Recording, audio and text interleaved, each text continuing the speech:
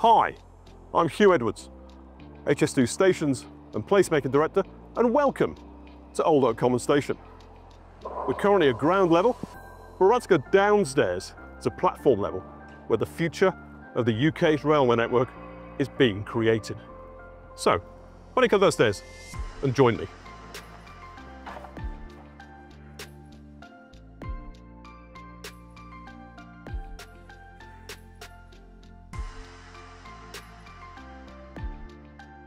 What you're seeing behind me is a huge leap forward for Britain's new high-speed railway. We're installing the very first passenger high-speed platforms anywhere on the HS2 route, and this is the exact place where future passengers will board trains for the Midlands and beyond, and these precision engineered slabs are manufactured off-site in workshop in Nottinghamshire and then transported to us here in Old Oak Common for installation.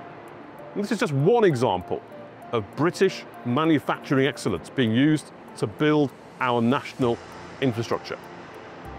These first platforms here, however, are more than just about infrastructure. This isn't about concrete and steel. It's about tangible evidence that HS2 is coming to life, creating connections between people, places and possibilities that will benefit generations to come. This platform is a physical example of years of thought, planning, design, construction, creating real enhancements to the UK railway network here today, 200 years on from the creation of the original railway network.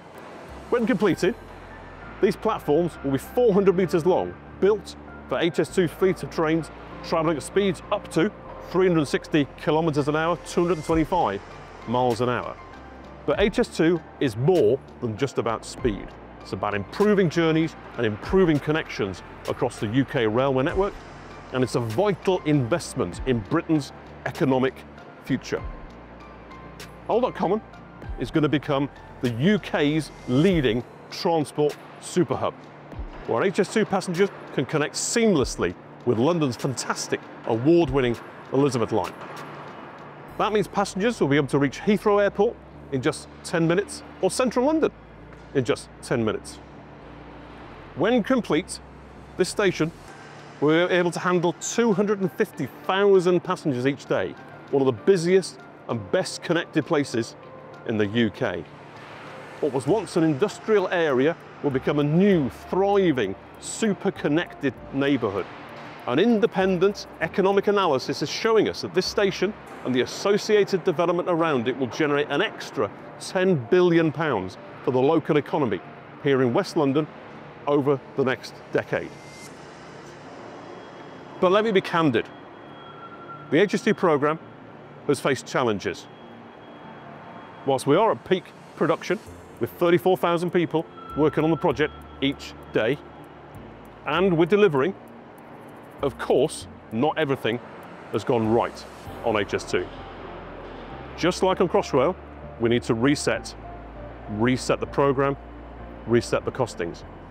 So get it back to its natural sequence.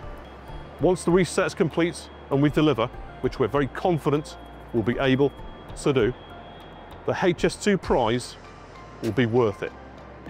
A railway that will be utterly transformative delivering what matters most, economic growth and better journeys. Thank you for watching. If you like what you see, comment, like, subscribe.